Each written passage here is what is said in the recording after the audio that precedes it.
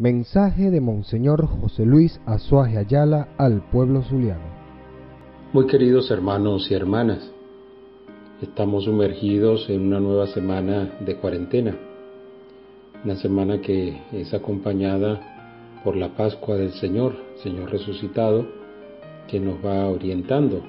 Ya el domingo pasado estamos celebrando o celebramos el Día del Buen Pastor, Jesús como buen pastor que guía, orienta, acompaña a su pueblo, nunca lo abandona, sino siempre está presente, actuante, en bien de buscar todo aquello que le favorezca para su vida y sobre todo una vida digna.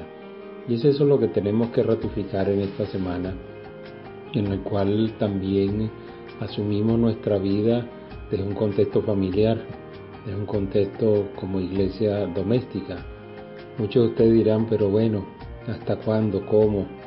¿Qué hacer? Respuestas, eh, tantas respuestas no tenemos, no tenemos. Tenemos más preguntas que respuestas. Todos nos hacemos miles de miles de preguntas. ¿Qué va a pasar? ¿Qué va a suceder? ¿Cómo vamos a actuar cuando ya poco a poco pues vayan dando cauces de, de volver a la sociedad, etcétera? Son muchas preguntas que es interesante hacerlas e ir poco a poco, sin angustia, tratando de obtener alguna respuesta. Desgraciadamente esta pandemia ha acompañado al pueblo venezolano con situaciones bien lamentables, en situaciones de, falta de alimentación, falta de recursos, de quiebres de muchos eh, establecimientos, eh, no hay gasolina, falta de energía eléctrica, etcétera, todo lo que vivimos diariamente y eso agrava muchísimo más la situación.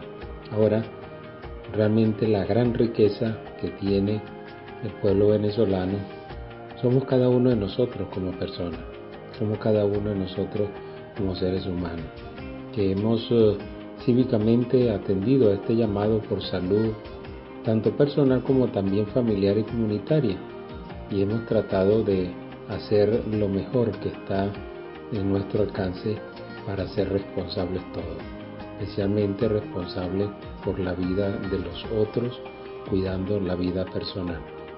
Así que les animo a seguir adelante. Estamos haciendo todo lo humanamente posible. La iglesia lo está haciendo para ayudar a aquellas comunidades más necesitadas. No tenemos, eh, como dice los apóstoles, no tenemos ni oro, ni plata, ni nada, solo tenemos una gran voluntad de servicio. Así que mis hermanos, seguir adelante y que el Señor cuide de cada una de nuestras familias y cuide también de todas las instituciones que están haciendo el bien. Que Dios los bendiga. Mensaje de Monseñor José Luis Azuaje Ayala al pueblo zuliano.